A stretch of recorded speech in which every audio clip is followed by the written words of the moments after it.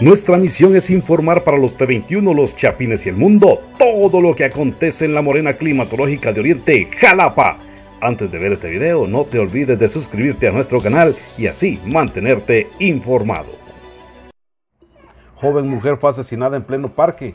En horas de la tarde del pasado sábado en la Quinta Avenida y Calle Tránsito Rojas en la zona 3 en el barrio El Porvenir de Jalapa, ahí se produce un ataque armado en donde la joven Amelia Carrillo Sánchez, de 22 años, fue asesinada de varios impactos de proyectiles de arma de fuego en el cráneo. Bomberos voluntarios fueron requeridos en el lugar, pese a que realizaron las maniobras de resucitación cardiopulmonar, a nada pudieron hacer. Lamentablemente no presentaba signos vitales.